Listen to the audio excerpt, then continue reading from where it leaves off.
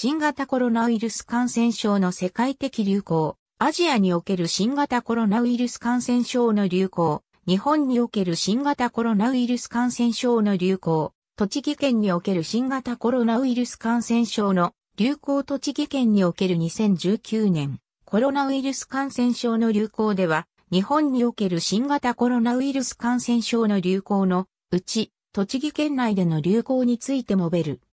2021年8月10日、現在9510人の感染が確認されており、うち8051人が退院、90人が死亡している。2021年7月29日現在、栃木県が認定したクラスター発生件数は81件で、感染者数は1198人である。最初に認定されたクラスターは2020年6月27日に宇都宮市で発生した接待を伴う飲食店クラスターである。これ以前の2020年5月に宇都宮市のスーパーマーケットを起点として5人に感染が広がった事例は宇都宮市がクラスターと判断したものの、県は同一の場で感染者5人以上、家族への二次感染は含まないことをクラスター要件としているため、クラスターとは認めなかった。最も大規模なクラスターは2020年12月28日に鹿沼市で発生した病院クラスターで、職員、患者合わせて143人に感染が拡大した。県の警戒度が厳重警戒であることを周知する道路交通情報版栃木県では1回目の緊急事態宣言解除に合わせて2020年5月15日に県独自の警戒度を設定した。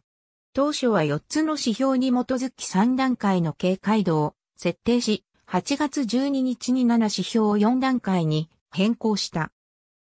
さらに2021年3月5日に5段階へ改定し、行為の警戒度は日本政府と同一基準とし、定位の警戒度は県独自の基準を設定することとした。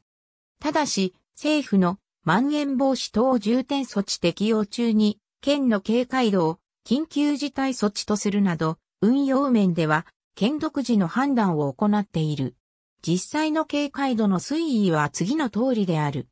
ステージ3は日本国のまん延防止等重点措置相当であるが、県は当初国のまん延防止等重点措置区域への指定を申請せず、今後の推移を見て申請を判断する方針であった。その後、2021年8月2日に、まん延防止等重点措置の適用を内閣総理大臣に要請した。ステージ4は日本国の緊急事態措置相当であるが、国の指定はまん延防止等重点措置である。ありがとうございます。